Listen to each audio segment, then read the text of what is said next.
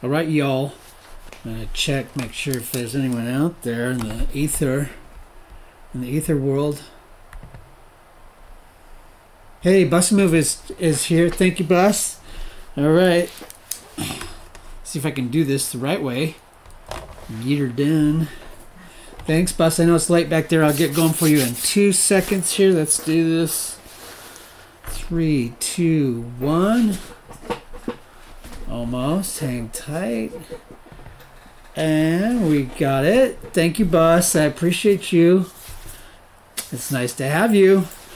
Bus, how is everything going back there? Uh, did you get the uh, bounder, was it? The RV? Um, you were at a decision making time. And just curious which one you went with. Let us know uh, because that's some big news, and I know it's a big deal. And uh, it's an investment too on your side, uh, time, uh, if uh, hope, obviously money, and something that you are going to feel like you know, uh, is it uh, a big investment over time?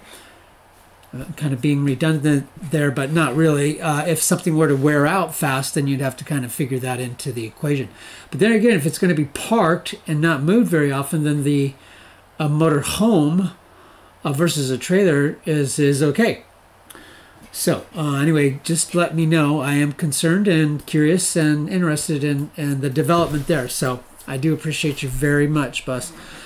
So thank you so much for joining tonight. Is Billy O'Neill at Trailer Gods live here over at the uh, Sacramento headquarters and trying to uh, still stay warm. It's still cold out there. This warehouse is like frigid. I'm telling you. I can't run the heater all day because it's just uh, too inefficient. So I have to make sure that uh, I bundle up.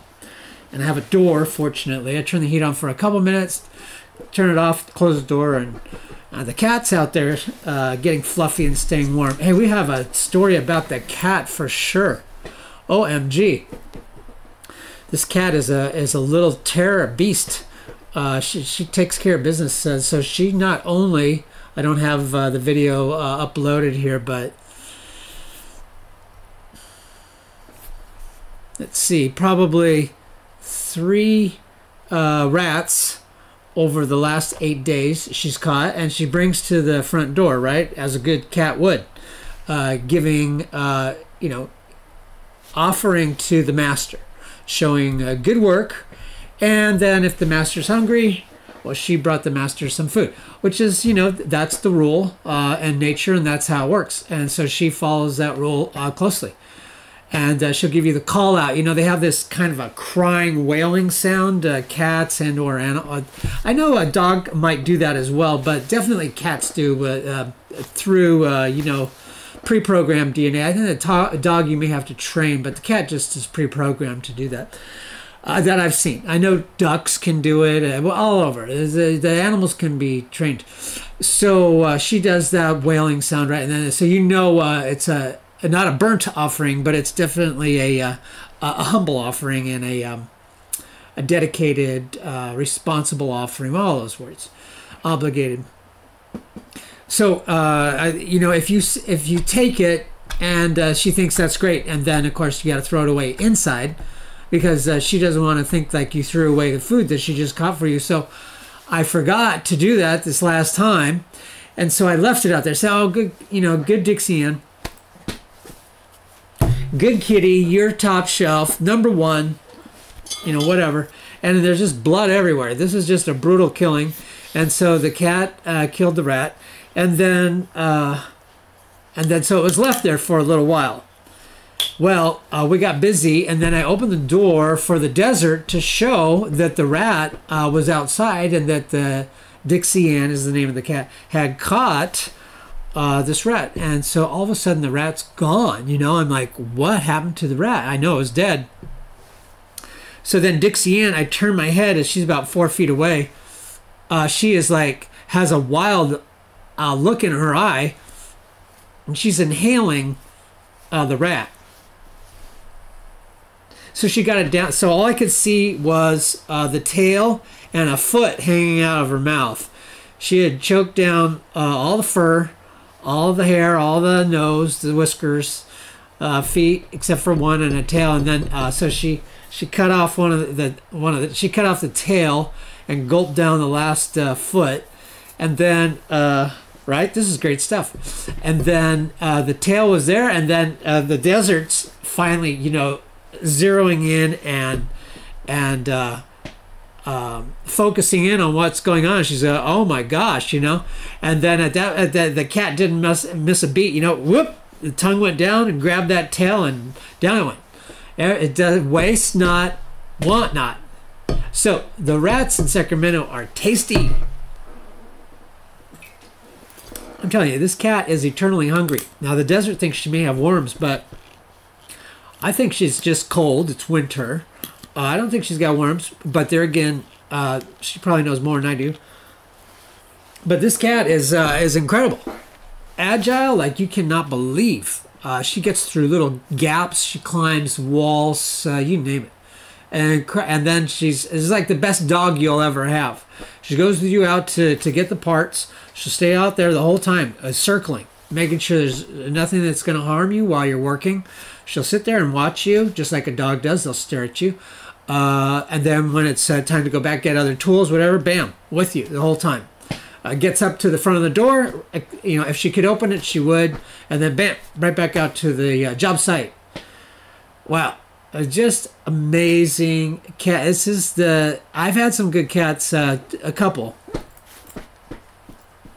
I'm telling you, this is like the most incredible cat and very kind and um, is a talker, but uh, just right by your side the whole time, and uh, very friendly to the customers. She helps the customers shop. Uh, but if I walk out, she's gonna come to me first, and then. Uh, but she's uh, the customers always give good reviews, uh, good, uh, good, um, you know, customer assistance, customer support, customer service. Uh, you know, Dixie Ann. They're probably getting better um, marks than we are. I'm telling you, no attitude, nothing. Bam, right there. That's just incredible. I, I, I definitely appreciate uh, Dixie Ann. So she's a great cat. I'll get some pictures of her, and I'll get the one with the tail going down. That's all it was. That's how fast she ate that rat. I just can't believe it. And she's not a big cat. She's a petite cat. So, uh, Bus's goodness uh, is on. Good. Thanks, Bus, for being here. I know we're starting late again. I know everyone hates that, but anyway, we have some good stuff tonight, and I appreciate you being here. Everyone who may uh, be on, I think there's one f- person who follows us on Twitch. So thank you so much if you're following on Twitch. I do appreciate that. Uh, but um, everyone else, I think, has been signed off until Jamie gets us up to speed on Rumble, uh, Facebook, uh, BitChute, uh, you know, um, all the other ones, uh, Twitch and uh, X and, and what have you. Because I think we uh, cut it all off uh, for a moment. Uh, it just wasn't going through. It was a big ordeal. So uh, he's figuring out a way for it to digitally or electronically be where I pay like nine dollars a month, and it goes to all the platforms. It used to be a lot more, so I believe the price has come down. So YouTube gives you a uh, sorry, Restream. There's a lot of players here, right? So the, the you have a computer and that for me, and then you have. Uh, um, a, uh, a, streaming service. So the, I use Restream there's Restream uh, comes and picks up the OSB, which is the actual program uh, that allows me to uh, analyze and bring the picture to Restream. Right, so I have OSB, then Restream, and then it goes to YouTube and Twitch. You can get two free, uh, and then after that, uh, one has to pay on Restream to uh, emanate out, duplicate, whatever you want to call it and then I am able to uh, get multi-platform. So that's what I'm looking for. Now I gave Jamie a little check, so I hope he's happy, and perhaps he can get us linked accordingly, because it's not too far away that I will hopefully be doing the uh, the the big show, recording that big show f- with uh, the female co-host and then uh, that's going down to David in Los Angeles, who will edit everything up. So I don't want to get long winded on that again, but uh, that's in the works, and hopefully that comes through. Okay, so tonight let's uh, watch uh, an interesting uh, lineup by Godforce. This is going to go back a little bit to um, uh, kind of reflect and and give some uh, acknowledgement and and good feelings and and remembrance and uh, you know we sure miss uh, all about John.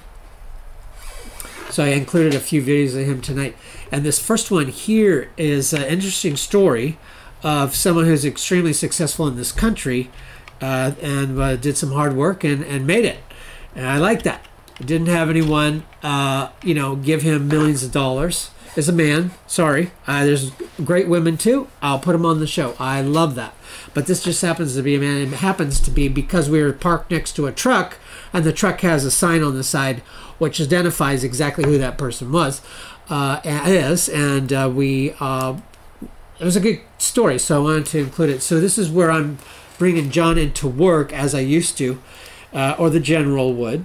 And then we would. Um, you know, go down the road, and um, I usually try to film as I went. Know, the general didn't film them at all. Didn't get any good content, but I did. I was like, every time we're going down, we're going to get uh, something, and this is kind of neat. Uh, John is extremely uh, well.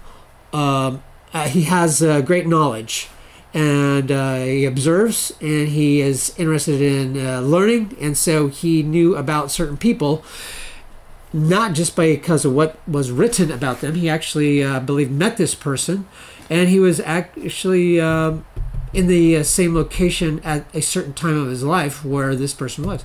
So it's pretty exciting. Um, so let's get on with this one here. And crypto, hey crypto, thank you so much, brother. Thank you. Appreciate you being here. So uh, yeah, you just uh, missed the rat story, but that's okay. You can catch that on the if you uh, tune in uh, or go to the beginning again. Cat caught a rat and ate it. It's pretty amazing. Uh, in- incredible stuff. Uh, but isn't that what they're supposed to do, right? anyway, so let's do this one here. And again, this is John before he passed. And it was really nice being able to. I have tons of footage uh, hours of this. So it's nice to once in a while go back and, and see that. So it was just uh, last year, not even quite a year ago, and we saw this uh, uh a little bit, and I wanted to put it together. So here we are.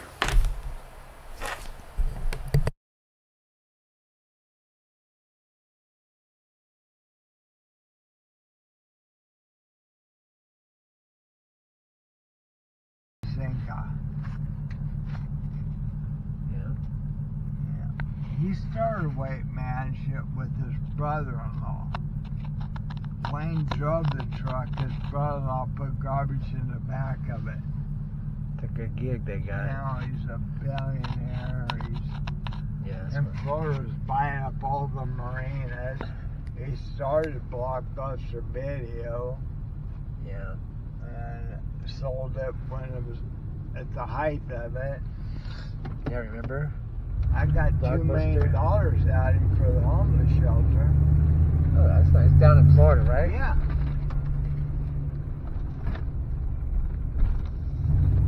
Got another five hundred thousand from his son.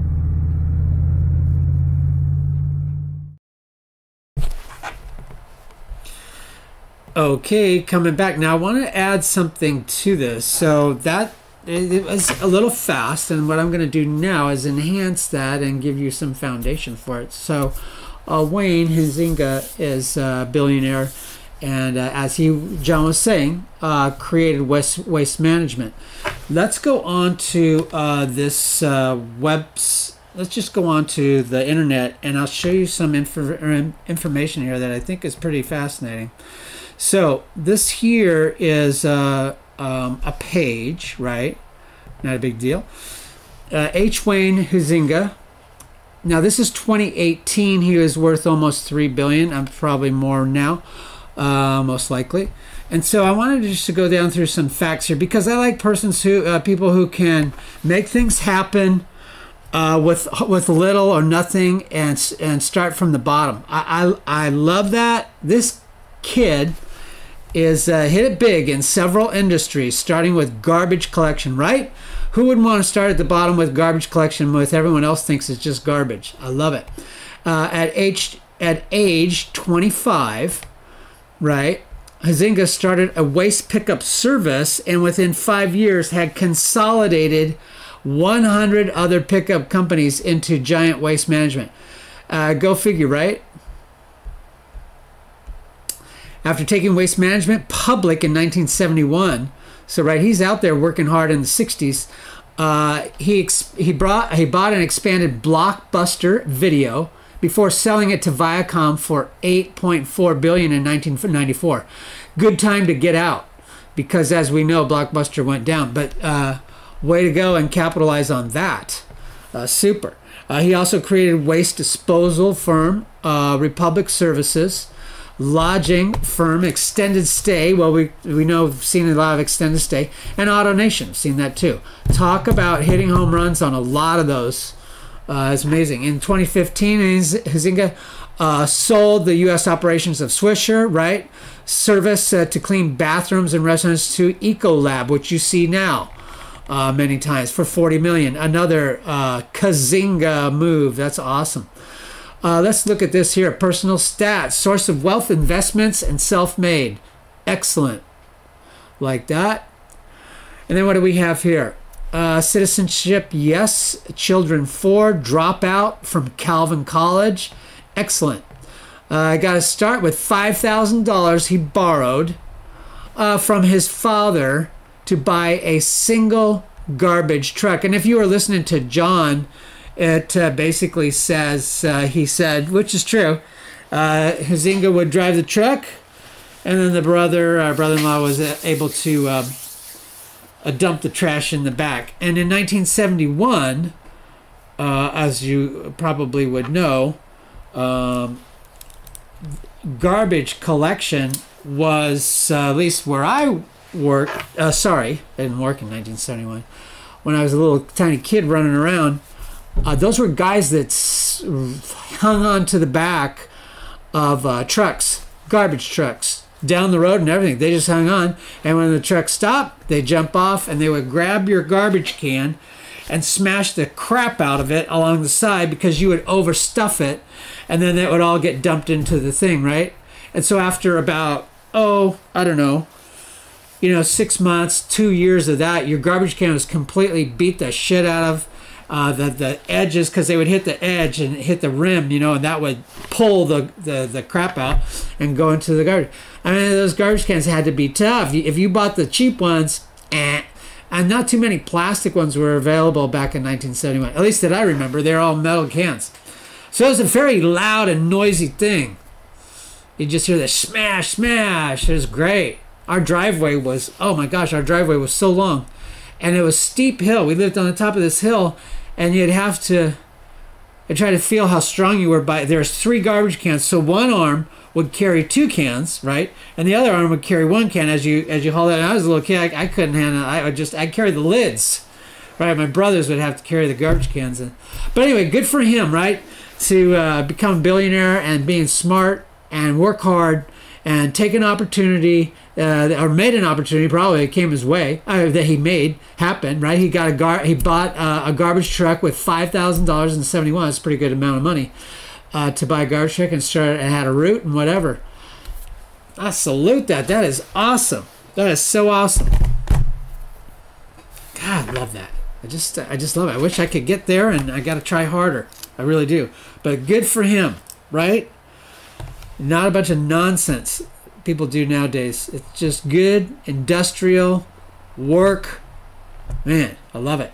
So that's uh, the first one there, and that's giving some uh, respect to John, uh, who just is so knowledgeable and who would know so many people and done so many things. As a matter of fact, we have another video of him tonight, uh, being related to more uh, incredible things here in the in the U.S. And so uh, John is more of a I mean, he's a super talented guy, absolutely smart as as anything, uh, but uh, not really money driven, but definitely uh, knowledge driven.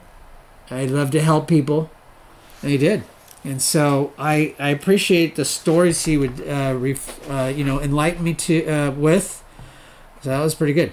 This one here, this next one is called. there's no name to it really, but this is how uh, one little aspect of fifth wheel hookups go. And I think it's important uh, once in a while to share uh, the differences between trailers and fifth wheels, uh, travel trailers and fifth wheels, or pull behinds or bumper pulls. There's a, a lot of names for what's called for the most common type of trailer there is. Right? All of all RVs, 50% are actually a travel trailers. Now there's a different there's a, lot, a host of names for a travel trailer. So again, an RV includes many different types of uh, of trailers and motorhomes, but the the most popular is called the travel trailer. also called a bumper pull or uh, you know pull behind. These are again different names for the same thing. This video here focuses on a fifth wheel. Now, a fifth wheel utilizes a hitch in the back of your truck, not off the, the bumper, right? Of course, you wouldn't want to pull a trailer off your bumper anyway. It's just an expression. That's the area which it attaches. It actually attaches to your frame through some sort of hitch extension receiver, is what it's called. But to make it simple, uh, you either attach to the back of the truck near the bumper, or you attach to a fifth wheel uh, that is uh, in the middle of uh, the your bed of the truck, ideally over the axle. There's yet another one too, and that's called a cab over, which we'll look at tonight as well. And that fits into the entirety of the bed of the truck and actually hangs over the front. That's why it's called cab over. And those are uh, called a truck camper also. And that's another way of uh, uh, carrying around a trailer. So there's three different ways a truck can carry a camper uh, or a, a, trailer. Let's just say RV because that is the right use of the term, and that is uh, what they are RVs. Okay, so someone uh, gave me the uh, on the ice phone, so I have to make sure I check that in case there's emergency. Okay. No emergency. It must be my volume is going. I can't believe it. So let's look at this fifth wheel hookup. I'm gonna. It's just one little a small scope, a view. Uh, I can't use those words together, but a little view of, of a hookup. There's uh, there's many angles. There's different steps to a hookup, and we can review that. But I wanted to zero in on one a part of the hookup, and then we can explain a little bit of that. But I think it's good to know as you go down. Say you know nothing about fifth wheels, but you occasionally see them, and then you go, "Oh, you know that one's connected to the back, uh, inside the back of the, the inside the bed of the truck." Oh, that one's connected to the back of the truck. Why is there a difference, and how does that all work? If you are interested, I'll try to keep it fun, and we'll go through how this works. Okay, so this will be kind of neat. All right, here we go. Now I'm going to stop it occasionally so that we can discuss some some things that are going on.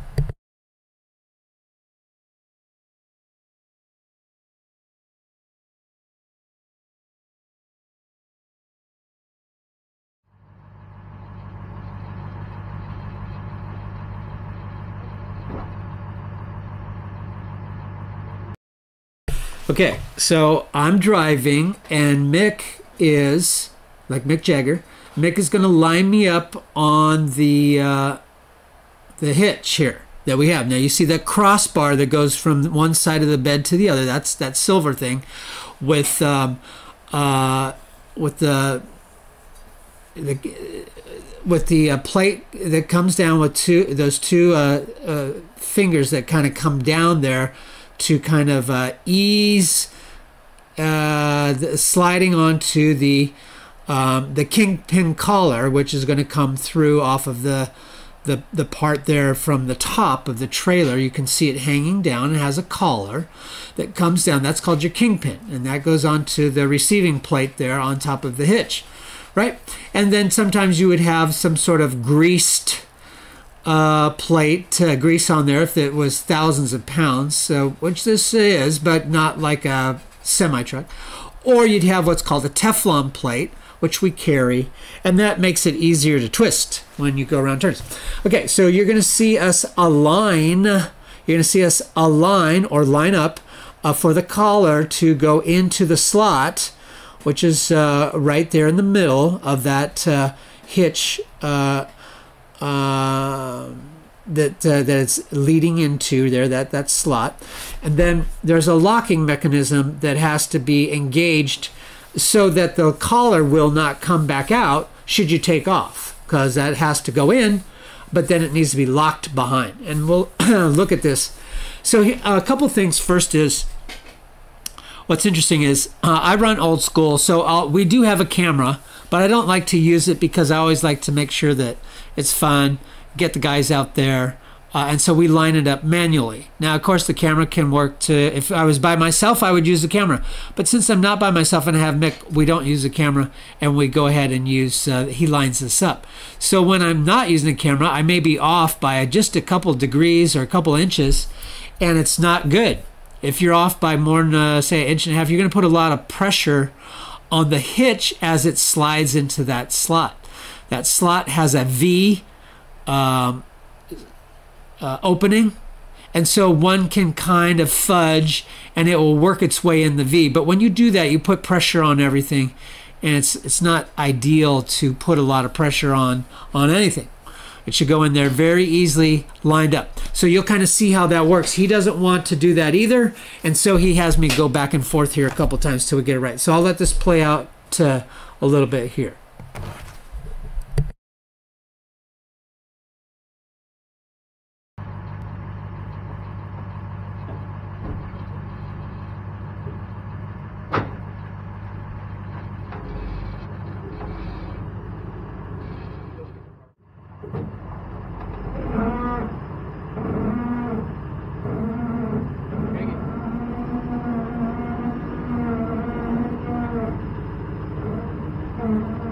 Those are just my brakes you hear.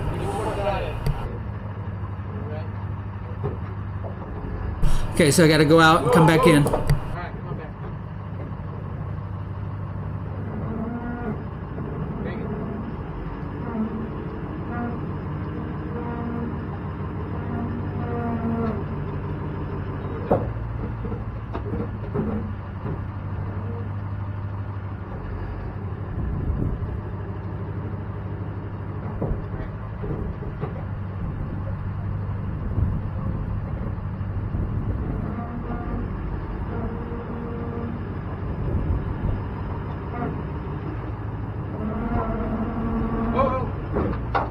Alright, come on back.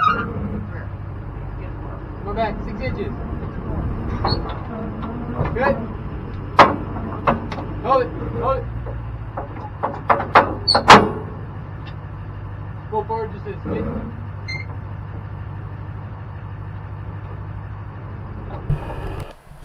Okay, so you, you see right there, you see right there, there's a gap of light between the bottom plate uh, above the, the kingpin collar and the, um, the top of the hitch. You see that little gap. Well, you really don't want to see that gap. And that's the reason why you saw Mick uh, struggle with the latch on the for the lock. It's not going to engage because the whole trailer is too high. He's going to need to lower it, and that's what he's going to do here. That collar has to be just in the right position for the finger to come around the collar. The bottom of the collar has a lip. You can kind of see it. It's barely in white at the, at the bottom of that gap. That's a, a big lip around the bottom of the collar. Well, the, the lock goes above that lip. And right now it's jammed and it can't get around it because that lip is in the way. So what he's going to do is lower it and then that you'll see it uh, go uh, go into position.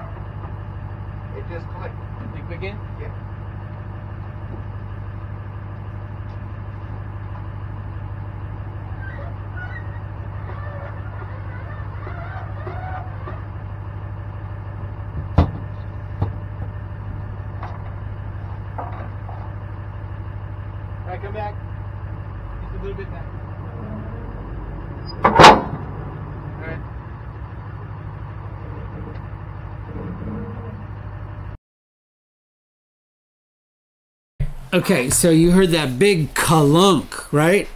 That was the uh, th- that's the the lock that you see it right there. One more time, so you can see.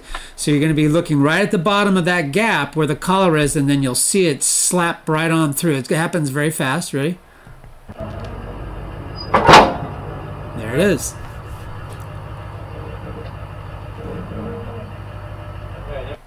Okay, so that's uh, that's it there. So a couple of things regarding um,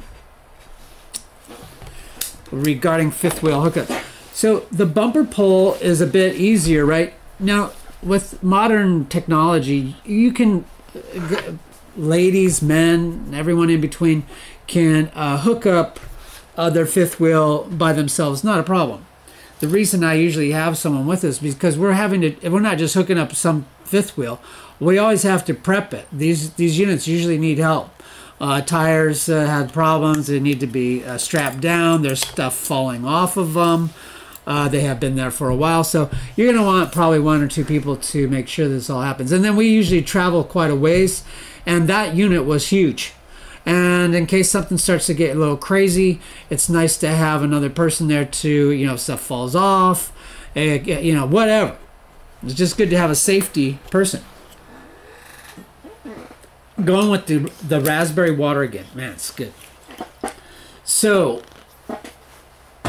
what the uh, the fifth wheel also is very stable.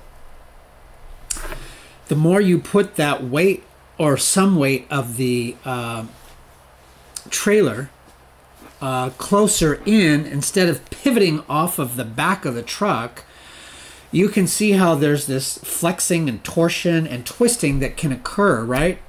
That's why it's a ball, so that it can do that uh, on the back of these hitches uh, that when it comes off a bumper pull or a, a travel trailer, and it can kind of rotate a little bit. You don't want too much of it, and then they make what's called uh, weight distribution bars that will lock in and prevent a lot of that from happening when it gets too uh, windy, when it gets icy, when you slam on the brakes too fast, uh, those types of trailers have a tendency to, uh, if you're on any angle at all, they'll go sideways, and it's called what, what's called a jackknife. That becomes extremely dangerous, and it can rip you off the road. It most likely will rip off of the hitch, and the uh, even though, well, if you have safety, large safety chains on, it's going to take you with it it most likely will take you with it. Uh, so it's it's a bit of a problem with the fifth wheel. It's safer until it's not safer. So just kind of going through these because this stuff happens and you can look it up online. Accidents with fifth wheel trailers and travel trailers and what happens when they start flipping over and getting out of control. So that fifth wheel most likely is a little safer until it's not, and then it will take you over uh, most of the time when it starts to flip and something happens. Uh, the fifth wheel can jackknife as well. It can do all those things. It can jackknife. And uh, that collar that's stuck in there with a nice sturdy hitch that's bolted to your frame is going to pull you over if it starts to roll. It will take the whole truck and everything. Uh, sometimes they break off, and sometimes they'll just spin around, and everyone will spin around and stay upright, which is good. So I've been, uh, I think the best uh, example of a trailer was uh, I was going through Mojave, and Mojave can have extreme uh, wind. Hold on, I'll get you. Mojave can have extreme wind uh, activity, or whatever it's called. Uh, the PK would give me the right word for that, but when it gets really windy out there, and I'm telling you, it gets windy uh, Palm Springs, Salton Sea area, the gap there, uh, Mojave, these gaps that, uh, that are funneling air, it's just, it's incredible. So uh, you get these trailers, you don't slow down and the wind starts coming what's called a crosswind, you're going to have big problems. And then uh, also if you were to hit uh, your brakes at any time, uh, trying to avoid something, that's going to just initiate a, uh, a problem with the trailer that you're pulling. And what happens is that trailer wants to keep going straight, right? Even though the truck is turning. Or uh, the wind is blowing so hard over the truck, not a big deal. But when you have a sail behind you, like a trailer, it's just gonna, you know, it's gonna tip, possibly. And so you have to slow down when you're in traffic, and you have to slow down when there's crosswinds or wind in general. If you don't, then you have these problems that occur. And so I came up on this trailer that was flipped, and it had taken the truck completely over as well, right in the middle of the freeway, just flipped them all over. And uh, it seemed like everyone was okay, but it's just, ah, you, you know, you're sitting there just going, man, you know, you got to slow down whomever was driving because you're going to kill someone else, you're going to kill yourself, and, and what have you. So uh, we toot along, uh, go down the road, but I try to make sure that uh, whomever is driving uh, the trucks here uh, knows, and they know they're good. Everyone's here's a pretty good driver. Uh, to uh, when you get in traffic, we're in slow lane, and when we are uh, in wind, we are in uh, slow lane. And uh, there are definitely times when we're in snow, and uh, once in a while, but rain um, very frequently, and you got to go slow too. But that fifth wheel uh, smooths it out. It gives you a very good ride, and it's uh, more stable. However, uh, it is also a uh, it's a, it's a little bit of a scare when those things start to go over, and they all will at some point. You just have to be uh, ready and not let them uh, do that, and that's by being uh, a good driver and having things uh, in place and uh, checked. You want to check things, make sure that lock, like we just saw, was engaged so that the collar does not back out. Right? Uh, everything's resting on that, so that has to happen. All right, so we've got through. We have we have made our way through. Excuse me. Uh, we made our way through the waste management story with uh, Wayne Huizenga. Is that great? Uh, fifth wheel hookups. Now we're going to be uh, checking out a uh, fun story. This is with John, uh, yet again experiencing a time of his life, and he shared it with us, and I think it's pretty neat. I wanted to share it with you. Okay, here we go.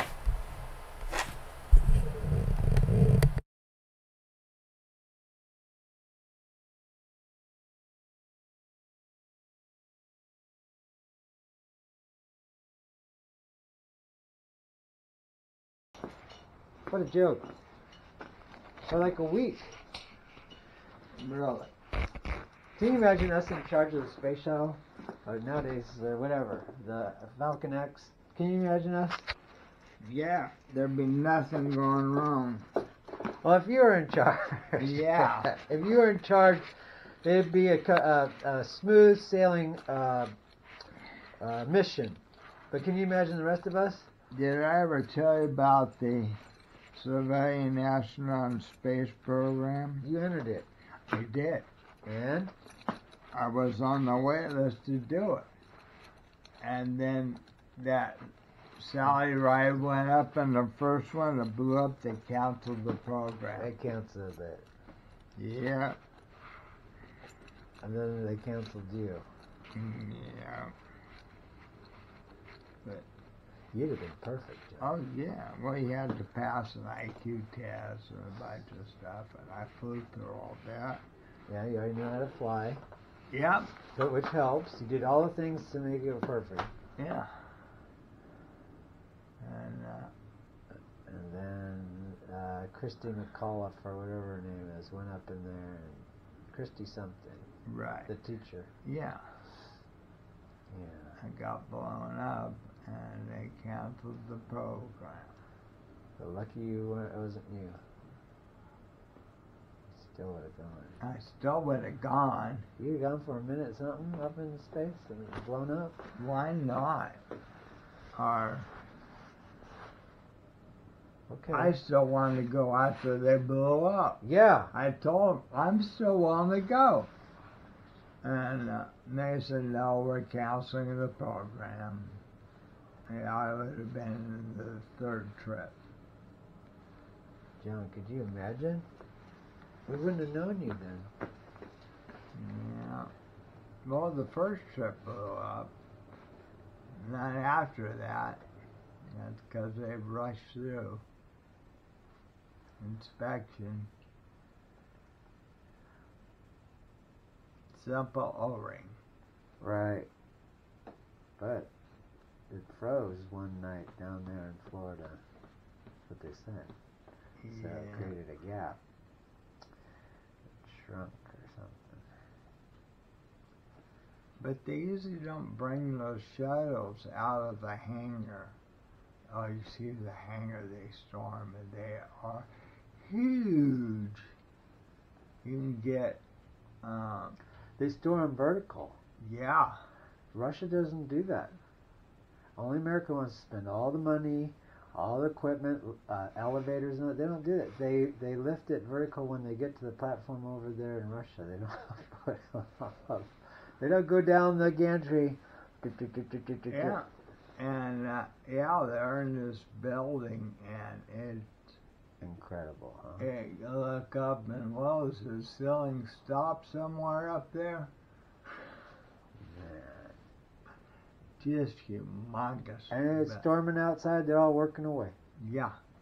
And usually the morning of liftoff, they'll roll out. It's a two mile trip. And it goes. Takes like six hours. It goes like a quarter mile an hour. Yeah. something. It's slow. Uh huh. It's pretty awesome looking. The track goes down, huh? Or the machine that takes it down. Yeah, that track layer. Ooh, man. That thing's got some gears, huh? Yeah. But uh, Uh, you I should have been on it, John. I never got to see um, a shell to go up, but I got to tour the um, place, and it just puts you in awe. Yeah.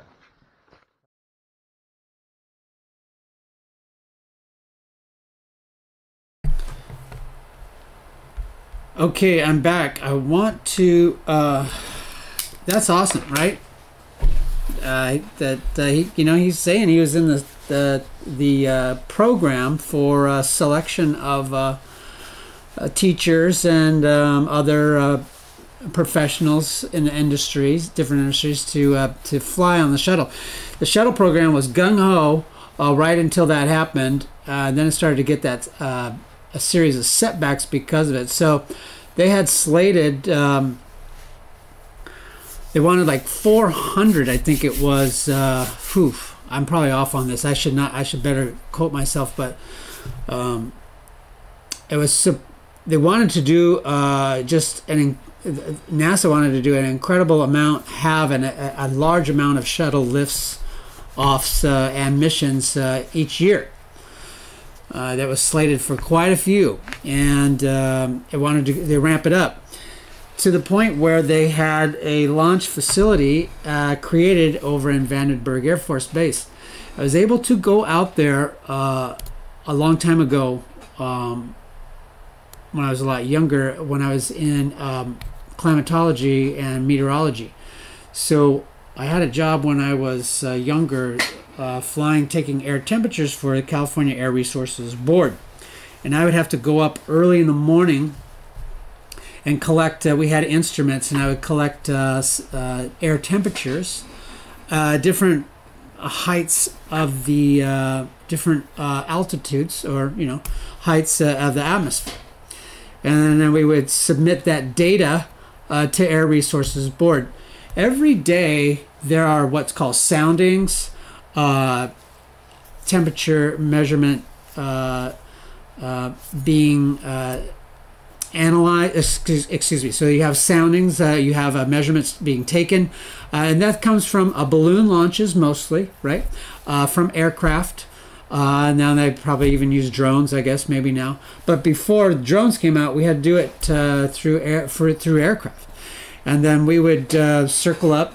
Now my area was uh, Central Valley of California, and just go up, up, up, and then um, take our uh, measurements. Uh, depending upon what the uh, if someone had called out sick, you'd have to take measurements over uh, uh, the south area, right? In the Sam uh, Bakersfield, you'd take measurements over Fresno, take measurements over Stockton, Sacramento. They, they would have a series of, of measurements taken, so they have that's important to know, and they infer information from that.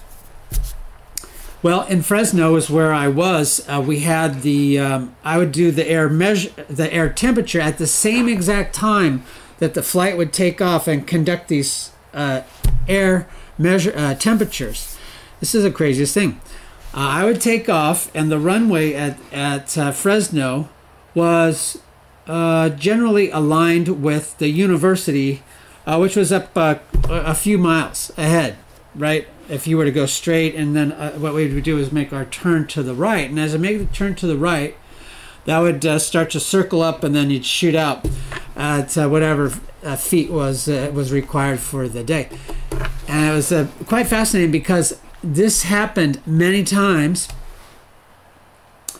If you took off at the exact right time, the sounding for the balloon uh, was um, what they were measuring from the university did soundings, not temperature, but wind. Okay, so they were measuring wind, and this uh, balloon had a little uh, sensor thing on it would uh, beam back a signal of location to uh, the receiver down at the university, and we would do that. Uh, sorry, they would do that. Uh, and so this balloon would go up, right? And it has a little box on it. every day. It'd be like, man, that's a lot of money lost. But that's what happened. But that's how important these soundings were. Uh, so I would be taking off, whatever, and, and so this would. I had no idea that the that the wind was being monitored by the balloon aloft from the university. Okay, all this is going on, but I, I wasn't in the whole uh, picture. Now, there's different agencies that would use this information. Air Resources Board is one for California. That's going to be monitoring pollution, things like that. The military also uses it, and uh, there's a, a number of uh, departments, state and federal, that use that. So I'm taking off, right? uh, This is going on. I had that job for um, a couple of years. And so I would take off one time, the first time, uh, it's dark, so we would take I'd take off at uh, at like 4:50 or 5 a.m. That's when. So most of the time it was already it was dark, right? Half of the year it was dark. And I take off, and then all of a sudden, you know, he- the the light would still be on. My light would still be on. Headlight would still be on. I'm in a smaller plane, whatever, and I'm going along, and all of a sudden, I'm scared the bejeeminies out of me. It looked like a giant Casper ghost, right? It's this giant white ball that just comes right up in front of the air, airplane. I I thought the propeller was going to chop it in half, and so it just it's just this big thing and ooh like that. And actually, I'm going faster than it, so it was going up and I'm going up, and and it just kind of goes off to the side as I go right over it, I think. And I'm like, WTF. They didn't have WTF back then, but I, I said the other words to it, right? I was like, what the heck is that? So I, I you know, I was busy uh, the rest of the day, and it took me a week or so. I asked, said, what the heck was that? And, and then I never got an answer. So this happened again. And I was like, you know, a giant balloon is just coming up underneath the aircraft. And I'm not kidding. This happened again. At that point, I was like, okay, I'm finding out what the heck this is. At the time, I was doing graduate work at the university and, uh, take, uh, taking a few classes uh, that uh, were related to weather. Okay, I was in climatology, but I was taking a, a meteorology class as well. And I so I asked my instructor. I said, "Are they doing? Is, is there some sort of you know uh, a balloon launch here that that I'm not aware of that's going on?" And uh, the instructor says, "Yeah, you know, every day Bill just so happens uh, does a launch." And I, I was like, oh my gosh, I, I got to go, you know, find out about that. So when I had, and he'd been doing it for years, like 20 years, it's just crazy. When I uh, was finally able to uh, kind of uh, light my load, I went and talked to Bill and uh, said, did you ever see uh, that your balloon like almost get knocked out of the sky? You know, and he was not a one for laughing at all. He is extremely uh, serious, a dry sense of uh, no humor, no humor. And uh, he may have had a grunt or something like that. I go, well, it was me, you know, I, and I almost uh, destroyed your balloon a couple of times. But um, I said, well, now I want to learn how to do that. And so I did. So he's like, okay, you know, be here at 4:55 in the morning. And it's like, well, I'm already familiar with that, so not a problem. I didn't fly every day. Uh, the the guy who owned the airplane would get his times in too. We would do it to um, uh, keep current, build hours, uh, get a little pay. It was fine. Uh, it was always beautiful in the morning because the air is very still, and so you would not have to uh, really worry about any weather unless it was in the middle of winter, and then uh, you're going to have some problems. Uh, we had that too, and you wouldn't go up uh, when it was deathly, uh, you know, stormy. Just not going to happen. I will share one time with you uh, is the most amazing uh, flight I think I've ever been in, even in commercial aircraft uh, at jet, you know, at altitude. But this one was uh, it was somewhere, uh, you know, eight, nine thousand feet, I think, somewhere around there. And it was an early morning. I was um shooting. We both were together that time. It was amazing. Uh, the the owner of the plane and myself, and we were going up to Sacramento from Fresno to get temps and then come back. We went into what just so ha- it wasn't a cell, it wasn't a hollowed out cell, but there was a number of clouds that created this entire kind of like um, auditorium. It was a giant um, opening inside this cloud or clouds, and they came together uh, for a period of time to create this incredible. It was it was purple inside, and it was there was clouds inside this gigantic cavern. It was huge. Uh, so we were talking, you know, maybe like 10 miles long and a few miles wide or whatever, and we're, we're traveling through it. And it was just this big, like it's inside of a, a, balloon. And you would see these black things, which were actually little clouds inside, little orbs uh, floating around inside. It almost looked like something that was uh, biological, right? Like you're inside some sort of bloodstream.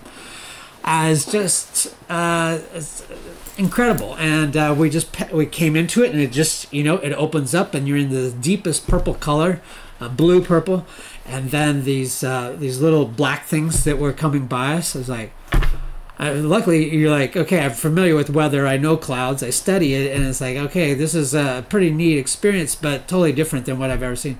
So we turned on the light, turned off the light, and you could just see it illuminate inside, and then go go dark again. And those were just rays uh, beginning to crest over the Earth's uh, surface at altitude. So remember, when the rays come up uh, that you see, uh, the reason they're red is because they're going through a lot of atmosphere, and it's a longer wave wavelength, so it slows down, right? It's, so that's what keeps the color down at a deep red and all. Purple, of course, is real high, but uh, frequency. But in this case, you'll see the atmosphere is it always changes from like black through purple to blue and all that. Uh, but at any rate, it wasn't the end of the day, nor was it uh, when the sun actually came out. It was very, very uh, high atmosphere, so it was just beautiful, absolutely beautiful. I was really excited to have that opportunity. But back to uh, John here, that was really cool that he was uh, able to uh, be part of that program. If he wasn't, and an amazing thing. And too bad it didn't pan out for him. Uh, but he's a big fan of flight and uh, airspeed and uh, car speed and all that. And I wanted to kind of let everyone share that experience of him, uh, just uh, you know, letting us know about how his, what things happened in his life. I thought that was pretty cool. Um, okay, so we got the desert here. Thank you so much, and Bus and PK, awesome. Thank you guys for being here, and Crypto, thank you. Okay, this next one is. Um, it's kind of neat because uh, again we're going back to a uh, a trailer. This one's called a cab over. Now cab overs are those that are also known as truck campers and they fit into the back of the bed of the truck right and then they, they kind of launch and, and curve over the front uh, that's real easy we all know that that's um, that's a uh, that's called a cab over. So the cab over on this one that we see here is pretty neat. Um, it is attached to usually you have the bed of your truck. This one's attached to there is no bed. It's a utility which we have. It's a utility box or utility bed. The utility bed has these risers that come up on each side, which are your toolbox, right? And then there's a slot down the middle that you would put tools or whatever. Well, this person put a cab over inside the slot, and it's pretty neat. Now, there's another thing which is nice about this cab over is it's short. Uh, that most of them go off the bed and they they come down and they incorporate in that space bathrooms or a restroom. The ones that are short usually have no restroom at all. It's a very small apparatus. You have your stove, a little place to eat, which is uh, it folds into a bed, and then that's about it. You have the refrigerator, uh, a couple of steps up to the loft, and, and that's that's what happens in the in the shorter ones. Those are flush with the back of your tailgate, so they fit right in. The extended ones, which are more numerous, uh, go off the back and they hang off, and that's why you would need a camper special or a 2500, three quarter ton, or one ton truck. Truck. The short ones you can get away with a half ton truck. They will hold them. So I want to show you that uh, here, and we had an example. We'll talk through it, and let me get this going for you. Hang on. Yeah, he's got that's all.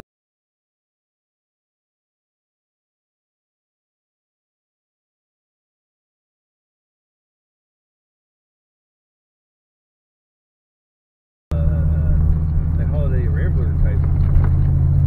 So he cut. So the gut. So we have a utility bed. We could just start hauling it like that.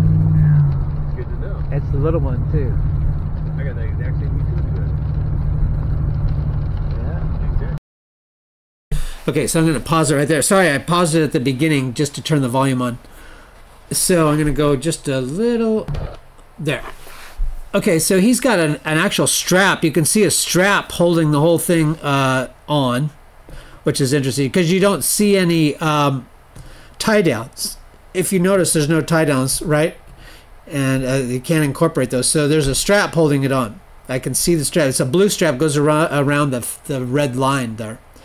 But isn't that cute? So that's a utility bed on the back of the truck. Most likely that's a three quarter ton truck. Uh, and then the cab, as you see, the cab over, uh, it's it's uh, connected uh, to the ba- to the truck, right? And then the, the front berth part goes over the, the cab where you drive, and then the back of it is nice and snug, uh, right up to where the gate would come up. You see the door on the back of the cab over, right? That they all have that door is not a big deal. And then you would have some sort of either accordion step that comes down, or a bucket, or a you know a little ladder, something like that, that would uh, drop down. It's very cool, and so uh, that's a smaller unit. Uh, again, they don't make as many of those, and uh, they're sought after. A lot of people like the smaller units uh, that fit into there. And this one fits into the back of that bed. So that bed is still eight feet long. And that's the body of that uh, cab. That cab over is eight feet, fits right in. And then it's another four feet or so that goes uh, up and over the, the cab, four or five feet. So pretty cool. Uh, a little lighter weight. So that way you could put it into a lighter duty truck. Uh, but uh, in this case, you can kind of tell if you had a utility bed on the back of a truck, it would automatically be a uh, three quarter or one ton truck. They don't put those utilities on the back of a half ton truck, it just will kill them. So, anyway, I thought that was kind of neat to be able to see how someone incorporated a cab over onto a utility. I had never seen that. It's not a surprise, it's just cool because I, I hadn't seen one, but it makes sense. Uh, so, uh, usually, sometimes uh, you would have those boxes uh, be able to lift up the utility bed box that, that, that it's riding upon. It's also riding upon the base as well, so it should just fit right in snugly, which it looks like it's extremely snug on the box section, which are the shoulders, and it looks like it's snug on the bottom. So you will not be able to lift up anything on top of the box. You'd only be able to open those side doors. And if you look closely, you can see the uh, there's side doors that open on those boxes. So looks like they still have use of the box, the utility bed, and also uh, a place to stay. So I thought that was pretty cool to, to have that little bungee holding up the trim tab on the back. That's nice. I use those bags got lumber racks on it. Wow. It's got that refrigeration insulated look, uh, Alaska. Yeah. You could hear John there. He was in that one as well. That's pretty neat. So, okay, that was fun. Uh, again, some cab overs we talked about, fifth wheels we talked about and saw some examples of both of those. Uh, when I was a kid, cab overs were extremely popular. Uh, they, it's like, man, they were everywhere. And they're still very popular today, but not as much as I think they were in the older days. I could be wrong, but it just seems like uh, there's there were more. I'm gonna have to look that up and see what they. Remember how we looked on RVIA and checked out the manufacturing the other day on the show? We looked at how many were being made. I can actually break that down. RVIA does the same for travel trailer, fifth wheel, motorhome. It'll give you uh, the breakdown of, of each of the RVs. So I have to look that up and see where we're at on that. I would be. Uh, I should know that, and I apologize. I don't know that yet. So now we're up to. Uh, I have my last one right now. Are you ready? This is called. Uh, well, I call it the piercing, but it's um it's just a tree branch that had pierced uh, a trailer. Now I have other content of this, and I just happened to come upon this uh, couple of video clips that was on this uh, disc that I'm using or chip. At times I had two two cameras going, so the chips. So I would switch the camera out accidentally, and so some of the video would be on another camera. And if I don't have it with me, and all of these videos are not uh, chronologically low or uh, you know tracked, whatever, uh, uploaded, uh, inventoried. Thank you. Then I will miss out. Now I've seen the other videos, and I'm sorry I don't have it. The other videos will have actual interior viewing of the uh, where the branch came through this RV, and it also I have other um, material edit uh, video of where the tree fell from. This was a large tree. Uh, I believe it was a large uh, cypress or a large fir tree. And it was over in West Sacramento. The tree was um, is during the winter, and a lot of rain had occurred, and then the wind came up afterwards and shoved it over. So it went from across the street uh, property. It, it came, it cut all the power lines in half when it came down and went across the street into a, into a trailer park. Unfortunately, it went right along the back of the trailer park boundary to a residential boundary. And it went in between the houses and where the trailers are very fortunate. If it if the whole park was backed up or it was about six feet more to one uh, the left, let's just say, it would have crushed like four RVs, and people were and there were people in all of them. So it just so happened that it didn't, and it went to the back of this trailer by about a foot, is how close it got. But the problem is, uh, you and you'll see up there it had large branches. Fir trees have big branches, at least, you know, that big around. And those branches are whatever, 40 feet up to start. Well, the tree is like 100 feet away. So as it's falling and crashing and crushing, these branches are having to uh, get caught up in everyone's uh, business as they fall down too. So the branches that are sticking up is not a problem. The branches that are sticking out and now are pointed down from 60 feet up or so are going to penetrate or be crumbled depending upon what they hit. And they penetrated right into this lady's roof. So the lady is reading a book. She is on a couch at the back of her trailer. In the back of her trailer is where all the action's going to happen. And so, uh, from Mick, who actually picked up this unit and uh, was able to speak with the lady who is inside it, asked her, you know, well, so what happened? And so uh, you'll kind of hear the story here of, of what happened. So I'll let you uh, hear it. All we are getting right now is the uh, visual from above.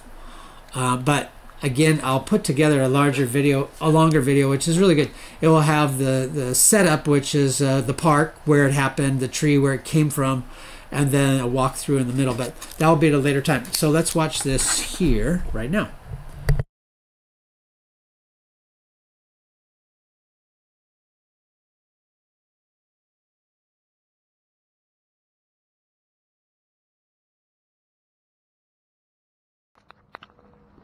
Okay, you guys We are. better go get a ladder, actually.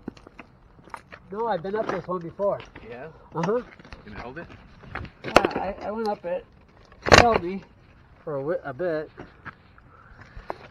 Yeah, you good? Yep. Okay. I know it's a little sketchy, but it, it held. Is that crazy? I think we'll be all right. You just have the puncture? Uh, yes, I have a just a little uh, fatigue right there from the stretch. That's all okay. Okay, I'm on the top of the world.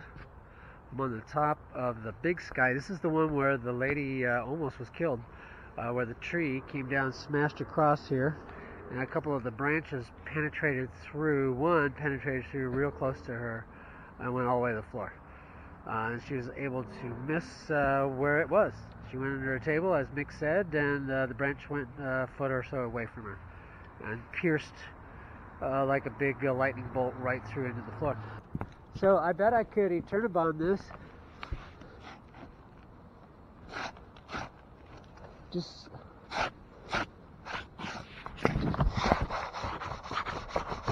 I think the tape will be fine. I got right at the front cash register. She could give us a roll and some uh, some um, scissors. I'm going to seal up the roof. So right now, I'm and now checking out. Oh.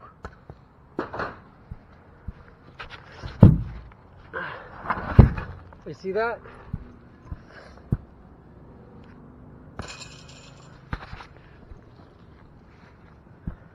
If you notice, the roof is filled with uh, a sawdust from the tree that came through. So this is where the branch is punctured right through. You can see the branch get right into it. Oh, it looks like a pine tree. Those look like pine needles. I'm sorry. I, th- I thought it was a fir tree. It's a What pine. try to do here. What I'm trying to do is preserve uh, what's left of the roof because it's going to rain again more. You see the branch went pierced it like a needle. So that's fine. Whatever debris on the inside is is fine. A what? No. These branches totally punctured it. And then, lucky that lady wasn't impaled by a branch that went right. Apparently, she was pretty close. Right? Did she hear? Biggest branch went right next to her. It went right next to her. Right next to her. She, got, she, she jumped on the table when she heard everything crack and coming down outside. And uh, She heard it crack. she heard she heard it coming. She heard it coming. She just jumped underneath her on top of the table. Right here. And the freaking the thing just branch went like that. Did she freaking freak out? She's on the phone with her daughter or somebody, and, and uh, she's looking sideways, and this giant branch comes right next to her head. Fucking right through the roof. Through the roof and all the way to the floor. Right, and it, it, it breaks off all the little branches. It looks like a freaking needle coming right through. Yeah. It, it looked like it. It looked like a giant bullet came through the whole thing. So I just stand up and just cut you right in half. What? That branch would have just oh yeah, it would. Would speared her. Speared you from top to bottom. like a like you're on a spit. Like if, if she if she had if she'd been anywhere else besides if she'd been just sitting in one of the chairs or the couch, she would have been fine. Anywhere else besides under that coffee table, she would have been done. Because the branches just came through like And did it did it stop like right above her head or something? I, I think it, it stopped when it hit the floor. When it hit the, the It went all the way into the floor. Yeah, it went all the way to the floor. Holy shit! So, i if you were in that area, it would have pierced Yeah, you. and you- yeah, it would have been done. That was, that was, no fun. Wow. man, is that awesome? That's crazy. Movie stuff. Man, we gotta get that on tape. All right, coming back. Coming back. Uh oh.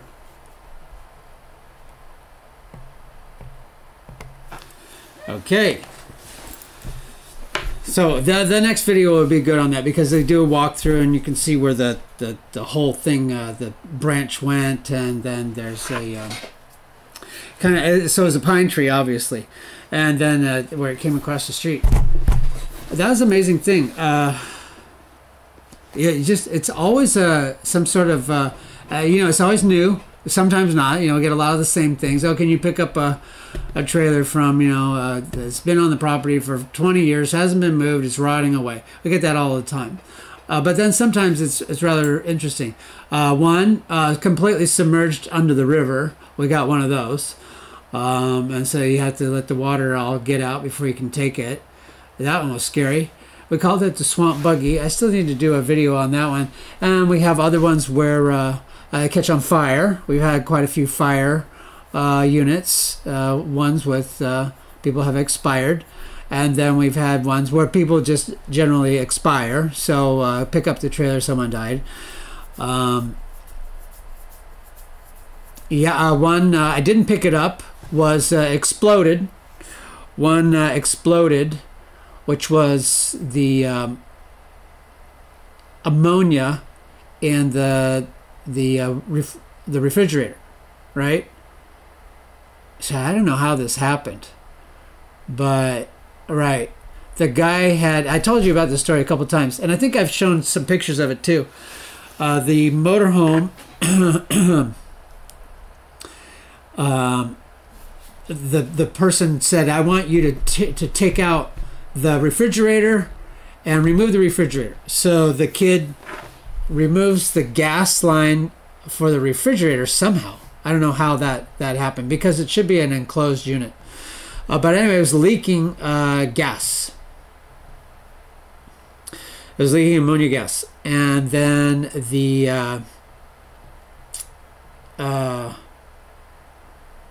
the the kids somehow wanted to test to see if the um, propane was working on the stove, and that was uh, wasn't necessarily the propane; it was the ignition source when he went to light it, and that's what gave him the combustion that they need. Ammonia is really fascinating because uh, it won't necessarily uh, catch fire if the uh, ratio is off. Yeah, like most things, right? You need so much air and so much mixture of uh, uh, liquid propane gas or ammonia, whatever it is, gasoline, right? If there's no air, it's not going to burn. But obviously, there's a lot of air around. But uh, ammonia is interesting. I think it's at 15% uh, concentration. So, uh, should you have a confined space and it's at 15% or close to it, uh, then you'll have ignition uh, if there's a, um, a gas just floating around. And the ammonia is a very strong smell. You'll know that smell, and you should not be uh, operating any type of uh, uh, ignition source, uh, you know, things uh, when that's happening. Uh, neither should you be doing it when uh, uh, propane is, unless it's in a controlled space. And so uh, that explosion almost killed the son. It literally blew him out of the door, uh, the front door. It blew him out of. It blew the wall out, and that was fascinating because some of the stuff that was in the the rig went out of the gap of the entire wall, just blew out, and all this stuff is like stuck, uh, jammed in it, and then the front windshield blew out too. I was like, man, that's an experience. Plus, there was a fireball, and the poor kid uh, was burned severely, and that's that's just a terrible thing. so one needs to be very careful. Uh, we've had nothing happen here, knock on wood. But uh, one of the guys that used to work with us, remember RJ? Remember R- good old RJ? He did a, a crazy little stunt with some guy's rig uh, with his heater, and uh, somehow didn't hook up the uh, propane source to it correctly. And when he went to, um, the guy went to test it, uh, it, it, it caught fire. And then RJ went to put out the fire. He had just had the entire rig inside restored. He had just had his entire trailer restored. It was a vintage trailer. And RJ went in there and just nuked it with the flamethrower or with the uh, flame retardant and opened up his wall, ripped open his wall to put the fire out. Uh, in some respects, like, well, you got to do that, but oh, that was just a, it was a bad scene. Bad. It was like, RJ, you, you're just a, a walking tornado, you know. And that's uh, RJ's the guy who uh, stole the trailer from that nice lady, the uh, motorhome. Sold it to some white trash, and then they eventually destroyed the whole unit. And we had that on one of our shows as well. That was just amazing. What a complete that guy there. You, you, anything related to RJ, you're going to have problems. It's too bad. He's a talented guy, but a lot of uh, drama uh, goes with it. So just a scary thing.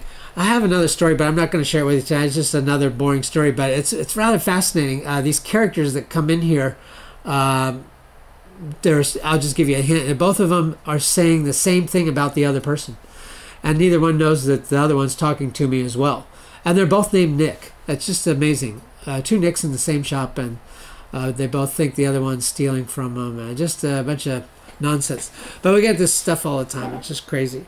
So let me check some chats. My voice is going and see how you guys are doing. It looks like uh, the chatting is over. So that's interesting. We're still live. It shows. So Bus, thank you so much for joining. Crypto, thank you. PK, thank you.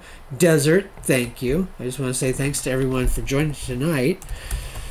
Uh, and I'm going to have uh, Jamie make sure that we have this linkage uh, back up with all the other platforms that are out there uh, so that uh, when this new uh, filming begins, I- I'm just going to push forward and find one of these, uh, a lady to do this show. Um, and that will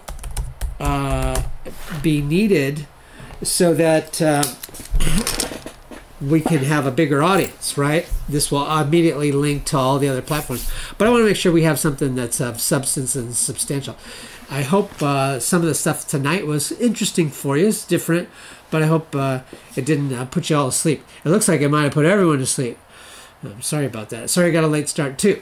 Uh, we had uh, some interesting stuff that happened today. Yeah, someone, uh, we were able to help out a nice gentleman and his family with a uh, very modest uh, trailer that needed some help, but it definitely it has a lot of space. It has a slide out, and it just uh, needs some uh, repairs uh, where the water damage on on the corners. And so he's going to fix that up. He's going to have a nice home, very nice home, and that's someone who's in the affordable housing crisis. There's a wonderful Hispanic family. His name is Roberto, and he is a wonderful man. He has uh, gotten a trailer for himself. He's gotten a trailer for his, uh, I think it was his father. He got a trailer for, uh, and, and then this last one here, he got a trailer for the brother, or the brother Page. You know, it's not like he got he lined everyone up, brought the whole family in a truck. They li- reside in Stockton, California. So when you're in Stockton, please think of Roberto and uh, all the great stuff he's doing. And he has uh, trailers that he resides in. I'm telling you, they're homes. I don't think they're not homes. These are homes for good people. And as a matter of fact, I will uh, get Roberto's phone number. I'm going to call him and let's go do a show down at his place. I think it'd be really cool. Because obviously, I think if you guys remember, not obviously, sorry, this is horrible English. Uh, the reason I say that is Billy did not provide for the interview tonight. I should show you the text. It just is. It's just like clockwork. It's like, oh, you're gonna be here? Yeah, I'll be here. Uh, so last night, you're gonna be here? No, I'm not gonna be there. I don't feel well. It just, uh, it's like a, um, uh, whatever, Bermuda Triangle, Twilight Zone, whatever. Uh, you know, uh, quicksand. Uh, they, they just disappear. They get to they get close and then they never show up. So I'm not going to worry about it. But I'm going to take the show to the road. So I'm going to see Roberto's super nice guy. Uh, his sister speaks English well. My Spanish isn't so good, and so she can interpret. And that would be fun to go out to Stockton to the site. I'm going to do this. So I'll ask Eden to get me Roberto's phone number. Ah. And we will do a show out there. I'll record it all and bring it back. I think that would be fun. Okay, so I'm going to just uh, close it down now because I think everyone here has gone to bed. Thank you guys so much for being here tonight. I appreciate you very much. If you want to check out anything uh, online regarding this show, uh, shoot over to trailercode.com. Has some history, has bio on me and things like that. Other things that we're doing. Uh, I need to update that site as well. If you have questions about uh, RVs, trailers, what have you, if you're uh, donating, if you need one removed, if you need to uh, purchase one, we can tell you where to go. If you need to get some ideas about how trailers work, information, we are a, probably one of the best resources for information there is. of a hands on operation, uh, you know, not the RVIA, but the rest of it. So make sure you check into the uh, RV Dr. George website and you'll get some good info there. Uh, if you need to email me, please do that at trailerguyslive at gmail.com. And in the meantime, we are up to Saturday. You guys need to have yourself a great weekend, okay? Any of his family members went to work at Desert Rest? Any of his family members went to work at Desert Rest? I don't think so, but I don't know. This is a guy in Stockton. So I will see you all on hopefully on Tuesday, and I'm going to make a, a, shout out to Roberto and see if we can get down there and check that out. That would be fun and meet the family. They'll probably have some good cooking there too. I love Mexican food. Okay, everyone, take it easy. Have a great night, and I miss you all for the weekend. Be safe. Okay. Oh, big big thing going is we have the uh, homeless feed tomorrow, so I have to make sure that that goes well. I'll try to film it and hopefully the homeless feed goes well. And Desert, if you want to be here, that would be awesome. We're going to do hot dogs. Real simple, but you know, it is what it is. And uh, hopefully we can have a good time. It will be sunny, and the, the homeless people will get a, a free meal. Okay, you guys take care. I'll get back with you soon, and uh, be safe tonight. Bye bye.